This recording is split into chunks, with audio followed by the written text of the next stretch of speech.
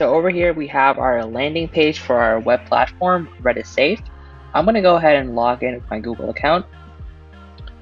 So you click sign up with Google and boom, I'm taken over here to my Google account. We see the live readings from the wearable technology, um, my heart rate, body temperature, and oxy oxygen saturation. We see all the different graphs over here. We can also see the cases.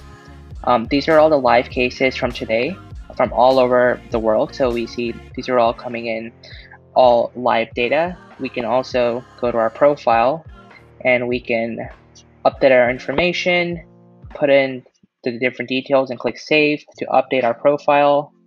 We can also go ahead and look at notifications as well. And that's the demo. Thank you. Hi everyone, this is a quick um, explanation of how uh, the Redis is used to store blockchain data that uh, essentially represents um, healthcare data collected from uh, various devices as well as, well as GPS sensors for location. So um, this is our URL um, where we've hosted a serverless function that interacts with the Redis backend. And if you want to start up uh, blockchain, we just hit that. And we're going to get back an ID that says uh, this basically indicates the ID of the blockchain that's been started. Um, we already have some previous blockchains.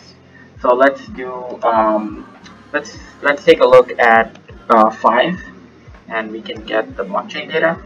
So this essentially represents a um, set of location coordinates that uh, was uh, tracked by a GPS tracker and then we can also um, let's do 4 and 4 this basically tracks health um, health readings so uh, GSR, pulse. Uh, the problem we are trying to solve with RediSafe is that there aren't solutions on the market that take preventative measures to fight COVID-19 utilizing both real-time health as well as contact tracing.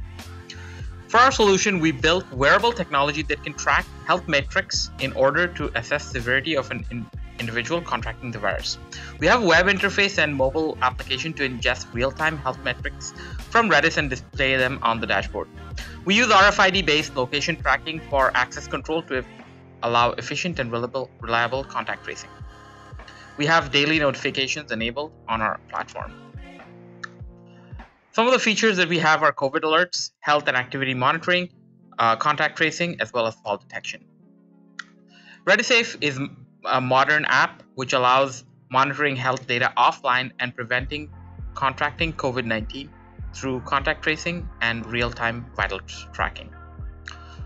What uh, makes us kind of special is that um, we have health vital tracking and um, we also have a um, end-to-end um, solution for not only co consumers but also to hospitals and other healthcare providers. For our business plan, our basic essential features would be free. However, we would have a RediSafe Plus membership with perks like personalized weekly health reports, history of health vitals uh, over time, uh, doctor consultations, as well as ability to integrate with uh, insurance providers for uh, lower insurance premiums. We can offer this as a custom software as a service to hospitals or to insurance providers who want vitals monitored, and potential uh, clients include uh, loved ones, caretakers, nurses um, who cannot be there physically all the time. For a revenue model, the membership would cost around uh, $2.99 per month or $14.99 for an annual subscription. The RediSafe software as a service for hospitals will uh, generate a heavy stream of income while cutting down uh, costs of production and operations.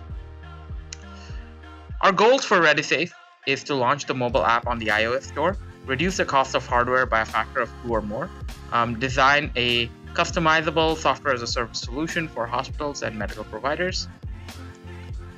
So this is our team. We're a team located all over the world in four different time zones we have Montasser. Montasser worked on the backend and hardware for this project. I'm Aryan. I worked on the website front end and backend. Eptasam worked on building the mobile application. And Anesh worked on the UI and UX for this project.